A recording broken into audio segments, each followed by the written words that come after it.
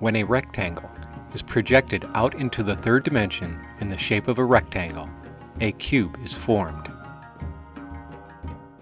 When opened up, the cube is seen to be constructed from six parallelograms.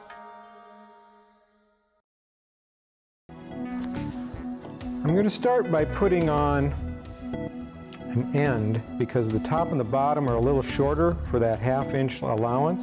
So I'm going to score this part score the underneath part of this.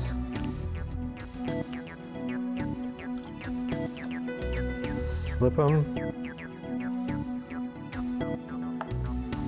and then just put them together. Make sure that it's even with the top and the bottom and that it's even with this edge over here and then push them together. Don't just lay, set them on top, but push them together. And if you want a real straight edge, you can put your ruler up against it and then push that out against the ruler.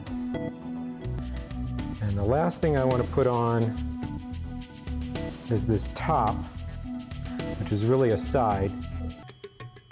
Once I have that done, I can just take it, turn it over, and just pound it just ever so slightly on each side to make sure that it's well put together like that. The finished cube can be carved, textured, and or incised to be a work of art on its own, or combined with other forms to create a larger piece.